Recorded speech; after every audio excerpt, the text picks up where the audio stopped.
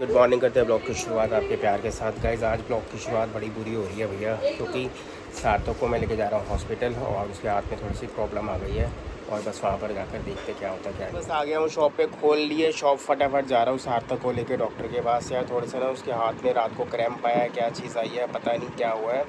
Actually अच्छा खासा gym से आया था, उसको नए जिम पे गया था, उसको मना भी किया था, बेटे, उस जिम में मत दूर है।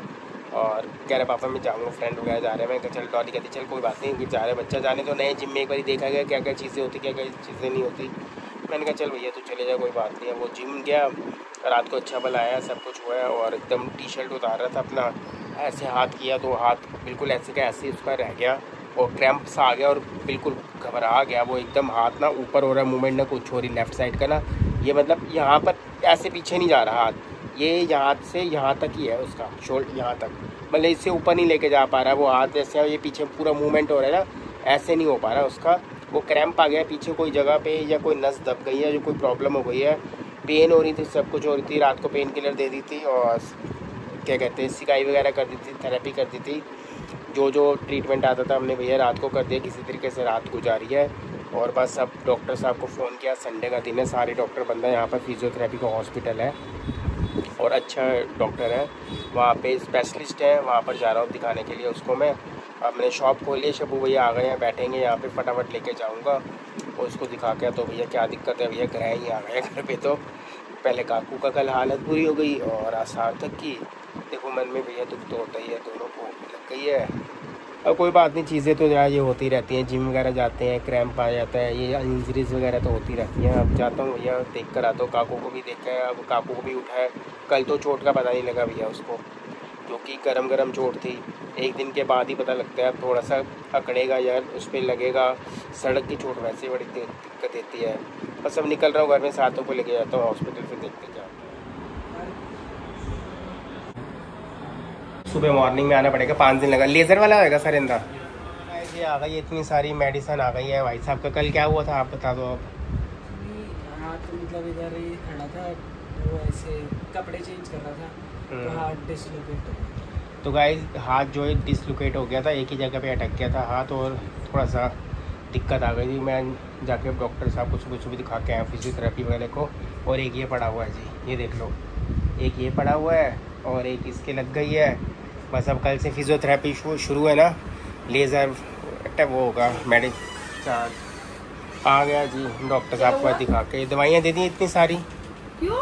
अब पाँच दिन लगातार जाना फिजियोथेरेपी करने के लिए। वहाँ इसने ओवर ओवर वेट उठाया है इसने कुछ भी वो कह रहे हैं इधर पीछे अटैचमेंट होती है मसल वाली उधर स्ट्रेन आ गया है तो फिजियोथेरेपी करेंगे पाँच दिन फिर लेज़र वाली तो उससे ठीक है पाँच दिन वो फिजियोथेरेपी करेंगे और इन केस अगर उससे अगर दोबारा स्ट्रेच आता है या कुछ आता है फिर सीधा एमआरआई होगी। एक्सरे में इसका रिज़ल्ट नहीं आएगा एमआरआई करके ही पता लगेगा। अब दोनों कल कल भैया हमारे घर में ग्रह ही आ गए थे कल। इसको भी बेचारे को लग गई है। तू बार बार उसको छील मत उंगली मत कर हाथ नहीं निकालना कुछ नहीं निकालना। अब वो क्या गए थे? डॉक्टर साहब सही है उन्होंने दिखाया हाथ उथ मूवमेंट करके देखी है आके तो जा रहा है। है कह रहे कि अभी हाँ, हाथ घूम रहा है हाथ ऊपर तक नहीं जा रहा अभी। अब फिजियोथेरेपी होगी लेजर टेक्निक वाली और उसकी सीटिंग है पाँच दिन की सीटिंग है लगातार उसकी। लेजर सिटिंग होगी? हाँ। ठीक है ना? लेज़र सीटिंग होगी सब कुछ होगा भैया उसके बाद। अब देखते हैं चलो कोई बात नहीं अब जो चीज़ होनी है डोली वो होनी होनी है। अब टाइम लगेगा। दोनों चिप्स खा रहे हो मज़े से। कौन लाया है? मस्सी, माँ जैसी लगी है। हाँ भाई, सही है तू? लेटा हुआ बेटा ये दोनों के दोनों बैठो आराम से अब। मैं दोनों के दोनों बैठे हुए आराम से अब। राम और श्याम। आराम फरमा रही है हैं और क्या उसी बात है आपने देखा था दो चार बार कैसे एक को बुखार होता था वो कहते थे मैं क्यों भाई बुखार ना लूँ उसका हाँ। ज़बरदस्ती दोनों बुखार में ले जाते थे कि चल भाई भाई को हो गया मैं भी करूँ अब दोनों हाँ। अब दोनों बैठे दोनों बैठे हैं। एक तो मेडिसिन खा ले खाना खा लिया तूने लंच कर लिया कल उसको चोट लगी है तो इसको भी चोट लग गई है हम्म। कहते मेरे छोटे भाई को लगी मैं क्यों पीछे रहूँ तो गाइज़ लंच करने आया हूँ मैं साढ़े चार बजे भाई भाई का प्यार ये होता है भाई भाई का प्यार तेरे को फीवर खत्म हो गया अब अब दवाई दी है इसको दर्द के कारण ज़्यादा हो रहा है दर्द के कारण बुखार हुआ है एक सौ एक बुखार था हाँ, अभी दवाई दी है। तो मैंने पहले हाँ। बोला था एक सौ ही है क्योंकि माथे पे हाथ लगा थी पता लग जाता है अब इसको दवाई खाना इसको थोड़ी देर आराम करेगा कहीं नहीं जाएगा ठीक है ना हेलो क्या कहते हैं काकू? मैं कल आया था आपसे क्या कहते हैं मिलने और बस सॉरी मैं सर से मिलने के लिए आया था लेकिन आपका मुझे पता चला तो अभी सर फटाफट जल्दी में जा रहे थे तो मुझे पता चला आप साइकिल से खेल गए तो कोई बात नहीं ये इंजरीज होती रहती है। मैंने भी खूब साइकिलिंग किया बचपन में मेरे को भी बहुत चोट लगी है तो डोंट वरी ध्यान से चलाओ सब कुछ अच्छा होगा और क्या कहते हैं बस आगे जल्दी से फटाफट ठीक हो जाओ और डरना मत कि साइकिल से गिर गए हो तो दोबारा हाँ। चलाओगे नहीं। हाँ हाँ, ये मन में रह जाता है डर रहता है कि- हाँ, थोड़ा सा डर रह जाता है कोई बात नहीं धीरे धीरे आप चलाओ बस सेफली चलाओ भी ठीक है तो बस थैंक यू सो मच कल आपका प्रसाद भी सबको नहीं। प्रसाद भी सबने मतलब ये है कि घर में बैठे बैठे हमें भगवान एस्कॉन टेंपल का प्रसाद मिल गया इससे बड़ी बात नहीं हो हाँ, सकती। वो रोहिणी में नया खुला है ना? अच्छा सेक्टर चौबीस वाला। सेक्टर ट्वेंटी फाइव में। अच्छा सेक्टर फाइव के अंदर? हाँ सेक्टर ट्वेंटी फाइव में खुला अच्छा था, ट्वेंटी फाइव हाँ वेस्ट, हाँ। रोहिणी वैसा हाँ, हाँ हाँ पे नया खुला था। अच्छा वहाँ पे गए तो। बस कुछ मैं जा रहा था मैं चलो ठीक है आप लोगों के लिए भी ले जाता हूँ प्रसाद। तो ठीक है जल्दी से भैया आज स्पेशल आए हैं कल भी आए थे काकू का पता करने के लिए थैंक यू सो मच यार। ठीक है कोई प्रॉब्लम नहीं है। तो चलो ठीक है जल्दी से ठीक हो जाओ गेट वेल सून और जल्दी से साइकिलिंग ठीक करो दोबारा आपसे मिलेंगे और साइकिल चलाना बंद मत करना ठीक है? चलिए। ओके थैंक यू आए थे बहुत ही मतलब केयर करते हैं बच्चों की सबके लिए और ये काकू और सबके लिए भैया ये ट्रॉफी का पैकेट भी लेकर आ गए हैं और जब भी आते हैं गिफ्ट लेकर ही आते हैं। कल भी आए थे वैसे ही पता करने आए थे मैंने बताया था काकू को इंजरीज हो गई है तो आज पता करने आए स्पेशल तिलक द्वारका रहते हैं और स्पेशल आए गाइज़ आप लोगों का प्यार है थैंक यू सो मच बहुत ज़्यादा। और माल इतना खुला हुआ भी अभी कस्टमर थे अटेंड करके हटा हूँ अ, चाय अभी तक भैया मैंने नहीं दी चाय डॉली से लिए आया था और आज मैं घर में, यकीन मानो आप, मुश्किल से मुश्किल ना 20-25 मिनट रुका हुआ बस काकू को मेडिसिन दिया है। मैं यहाँ से पहुँचा था लेट चार, सवा चार के आसपास का टाइम था। और खाना खाने खाते खाते खाते साढ़े चार बज गए थे। वहाँ से फटाफट खाना खाया कस्टमर थे, दुकान पे। संडे का दिन होता है रश का टाइम होता है।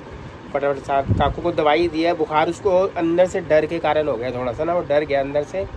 बस वो चोट लगी है, चोट में से हल्का हल्का सा ब्लड ब्लड सा आता है रहता है। वो लगी भी ऐसी जगह है, वो मुड़ने वाली जगह है, घुटना। और उसको आप हल्का सा बैंड करोगे ना तो वो फिर दर्द होती है वहाँ पर बहुत ज़्यादा बहुत ज़्यादा पेन हो रही थी। पेन किलर दे आया था मेडिसिन दे आया था फीवर की। मैंने कहा, भैया, कोई बात नहीं। अब वीडियो कॉल करके मैंने अभी थोड़ी देर पहले ही हाल चाल पूछा है। बस काम कुम करके चाय पीते हैं आराम से। चाय पीना भाई मुश्किल हो गया जरा सी चाय पियो, कोई ना कोई आ जाता। फ्री होके भैया फटाफट मैं क्या चाय पी लेते तकरीबन टाइम साढ़े छः पौने सात के आसपास का टाइम हो चुका है। फिर दोबारा से माल खुल गया। बाहर बहुत रश है आज भैया, आज क्योंकि कल है सावन का पहला सोमवार, यानी कि आज जिस दिन ये ब्लॉग आएगा, आप सभी को सावन के पहले सोमवार की हार्दिक शुभकामनाएँ, बहुत बहुत शुभकामनाएँ। भगवान आपके घर में भोले शंकर, सुख समृद्धि और शांति लेकर आए। बस यही प्रार्थना करते हैं और कल से सुबह सुबह मंदिर भैया डॉली सोनिया भाभी वगैरह सब मंदिर जाते हैं सावन के महीने में। फास्ट रखती है डॉली और भैया हमें भी साथ में फास्ट मैं तो नहीं रखता, जाना पड़ता मंदिर। में तो मैं घर में जाता हूँ। बस कल सुबह सुबह मंदिर जाना है और सबसे पहले मंदिर जाने के बाद सार्थक को फिजियोथेरेपी वाले के पास जाना है क्योंकि उसका ट्रीटमेंट शुरू हो चुका है। और बस अब काम घूम करके फटाफट चाय पी लूँ। यार चाय पी नहीं है डेढ़ घंटा हो गया चाय थर्मस में ऐसी एज इट इज़ रखी हुई है। फटाफट चाय पी लो फिर करता हूँ आज वाकई चाय नसीब में नहीं थी इतनी सी चाय नसीब में आई है। ये दो बूटा अभी अभी जा रहे हैं ना भाई साहब ये ये जो ब्लाइंड जा रहे हैं। अब ये चाय पीने लगा वो कह रहे भैया कुछ दे दो। मैं कहा आप चाय पियोगे कहते हाँ पीऊँगा। मैंने अपनी चाय दे दी है। अब जितनी नसीब में थी वो हमें मिल गई है। ठीक है जी?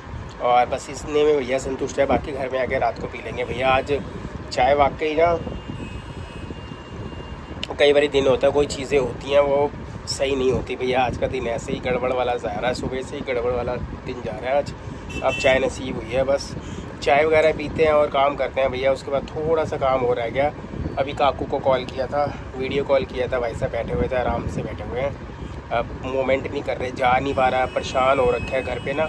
मतलब कहीं खेलने नहीं जा रहा, कहीं कुछ नहीं जा रहा और बाहर लग रहा है, जाम, बहुत खतरनाक वाला जाम लगा हुआ संडे का दिन है, बहुत जाम लगा हुआ है। ये देखो, कितना जाम लगा है, गाड़ियों पर गाड़ियाँ लगी हुई हैं। तो गाइज़ बस चाय वगैरह लेने गया था। आज गुरु पूर्णिमा है, देखते हैं क्या, कौन सी मिठाई लेते हैं।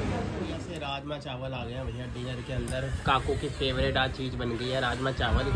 अभी चोट का क्या हाल चाल है? चोट में मेडिसिन लगा रखी है खुला छोड़ा हुआ है इसने। वो बीता नहीं हुई आपने जल मंगाया ना। कल सुबह एक बार एंटीबायोटिक और लगवा के इंजेक्शन और लगवा लेंगे ठीक है? मम्मी कहती है पाउडर से फ़र्क नहीं पड़ रहा तो जल लगा ले। वो जेल तो लगा लिया मगर एक बार और दिखा के नहीं चाहिए आप नहीं नहीं। ये है साढ़े ग्यारह बजे का टाइम और घड़ी देख लो आप।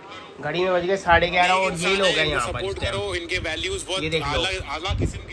ये साढ़े ग्यारह का टाइम है और ये लोग हैं यहाँ पर ये लोग बस। और कोई भी नहीं हो है।